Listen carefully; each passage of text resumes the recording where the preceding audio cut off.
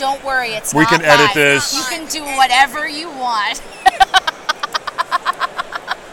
I told you about my cult. Ryan Miller, everybody.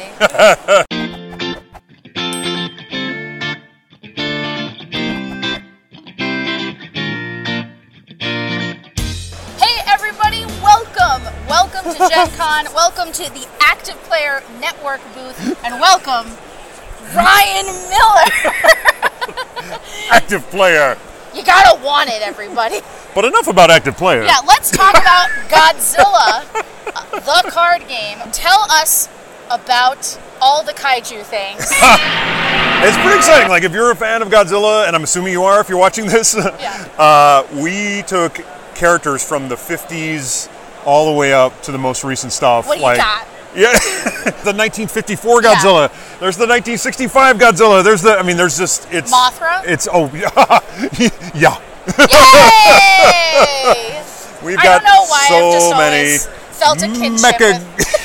yes, you just flitter Mothra. about, flitter about, and it uses the Okay. Chrono Clash system. So if you already know that game, you already know how to play this. What I did though is uh, with this game specifically, because there's so many characters, there's a lot of specific like abilities and things like that. I just went card by card and researched the character and tried to do my best within the system to kind of convey like what they're kind of known for, that sort of Uh-huh. thing. I added some new abilities that are just in Godzilla. Uh, there's a couple. There's like toughness, which makes them harder to kill.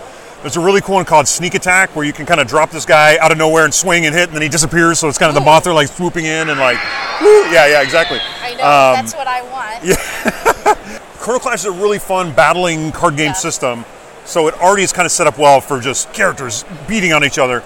But with the new abilities, I really wanted to kind of convey the kaiju feel, the kind of the huge creatures going toe to toe, or tail to tail, or claw to claw, whatever you want to call it. Whatever parts Uh, you got. Whatever part. We're going parts to parts. It's very inclusive. Can you take us through kind of like what a turn looks Oh like? yeah, no, Yeah. the game itself is really simple to pick up, um, and it starts with the chrono gauge, and that's where the, the the system gets its name. So in this game, you have this cool chrono gauge. Starts at ten, or in this case, sad face, uh, and it goes saddest face. all the way to happy face over here because that's Who my knew? turn, right? Yeah. Uh, a counter, uh, you put a counter on the zero at the start of the game. Now, whenever you pay a cost in the game, you just move the counter that many spaces towards your opponent. So Right. if it was, you know, if I'm on this side, I'm going to move this to the five. Now, once it gets to the one or past on your opponent's side, it's their turn now. So your turn is over. So you can, on the first turn, drop your biggest kaiju if you want, but you got to understand that you're giving your opponent a lot of resources uh, to deal with. So that is really the core of the game right here. It's really fun and dynamic because unlike a lot of uh, trading card style games, this one lets you play whatever you want. You just might regret it because you, you know, you're like, you know, oh, My favorite. I love regrets. Well, They ask you how you are, you just have to say that you're fine when you're not really fine, but you just can't get into it because they would never understand. you can play a risky play right off the bat, uh, and it adds a lot of fun interactivity. So another thing we did was we use uh, so we use a sy- uh, system of symbols rather than words on the cards. Okay. We do that for a few reasons. One is translation. So this this game can be played anywhere against anyone. You don't have to speak the same language. But also kind of it, it becomes kind of the secret code. It's kind of neat. Right. It's like it's like the, the secret language of the game. Uh, and I always, I always say it's kind of like a programming language. Like in this case, you know, this symbol here means whenever this happens. In this case, whenever this card is summoned, that's what the little arrow Right, means. right. Do these icons after it.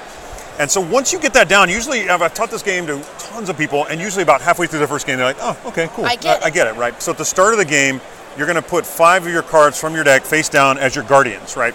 So the goal of the game is to destroy all of your opponent's guardians and then hit them one more time with one more attack, and then you win. There's a secondary mechanic where you can also go on quests to win as well. Let's say you know this is your this is your kaiju right here, Godzilla 1989 right there, uh, and you attack me with that. Uh, when you attack my guardian stack, I'm going to reveal the top card. If it has a cool ability down here, like in this case, I get to tap an opponent's battler. Uh-huh. I, I play that now, and then we compare. This Guardian is going to battle Godzilla. In this case, of course, Godzilla beats the tar out of it, so it goes Right. away and Godzilla stays. Okay. Now, if this was big enough to defeat Godzilla, y- I would still lose my Guardian, but you'd also lose your attacker. So Yeah. there's a lot of surprise. There's a lot of like, Is this something that players who, who enjoy deck building are going to want to build the right guardians? well, since the Guardians are the fi- top five cards of your deck, you never know what's in You your Guardian know. stack. But while you're building your deck, you definitely want to pay attention because some cards have Guardian abilities, and that's what these are down Right. here, the shield and then and that sort of thing. So when you're buil- when you're building your deck, you definitely want to pay attention to that and go, okay, I need to make sure that I'm adding cards to my deck that are gonna pull me out of the fire. You know, When I if, need it. yeah, if I get in trouble, right? Yeah. Obviously, this is Chrono Clash. Mm-hmm. Naruto Boruto is also Chrono Clash. That's right, that's right. Can I battle Godzilla against Yeah, Naruto? absolutely. What is happening? It's the Why same system. this- so your why deck. is this happening? Yeah, the thing you can't do is mix the cards. Like you can't Yeah. have like in the same deck. you deck. Can mix the same deck, but Right. you could play the But different shows against each other. yeah, yeah, and it's it's yeah. That's one of the things I'm very excited about because we have a lot of big plans for the for Chrono Clash. Yeah. and it's just the idea of ninjas versus kaiju. Is epic.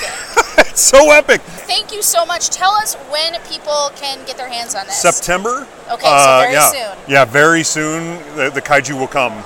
It- Godzilla will come for you. Right before spooky season. He will come to your town and stomp on your buildings. Well, that's, let's not threaten the, the active players. Active players. Active players. Yeah, we gotta do it right. I feel like we've done enough damage here, although I don't feel like that's possible when you're talking kaiju. I know, right? But It's I just- cannot wait yeah. to stomp around with this game.